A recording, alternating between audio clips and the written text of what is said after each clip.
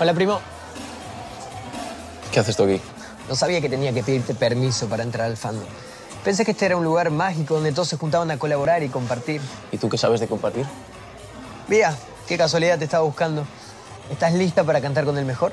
Seguí soñando, Alex. No, prefiero quedarme despierto y hacer tus sueños realidad. Ah. Admití que te encantaría. Alex, déjala en paz. Deja a Manuel. Puedo encargarme de él yo sola. Ya escuchaste, primo. Andate y déjanos tranquilos. ¿Y por qué no te vas tú? Nadie te quiere aquí. Uy, pero qué agresividad. ¿Qué pasa, primo? ¿Estás celoso? ¿Y por qué debería estar celoso? ¿No te enteraste? Vía es mi nueva pareja. ¿Qué? Mi nueva pareja artística. Vamos a cantar juntos. ¿No te contó?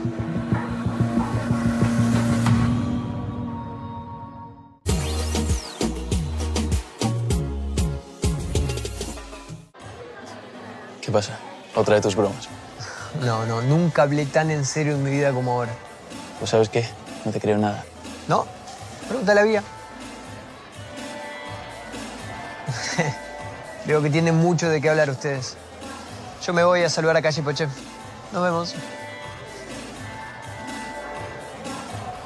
¿Vas a cantar con Alex? Es lo último que quería en este mundo. Entonces, ¿por qué ha dicho eso? En realidad, ¿Me lo vas a poder explicar? es muy complicado. Pues simplifícamelo, por favor. Bueno, Marcos hizo una grabación de Kiara cantando y usó esa voz para uno de sus influencers. Y después le dijo a Kiara que aceptaría eliminar el video, pero solo si yo aceptaba cantar con Alex. Sí, Marcos.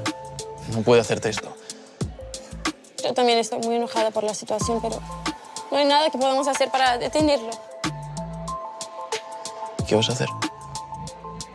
Lo único que tengo claro es que no quiero tener nada que ver con likes, y mucho menos con Alex.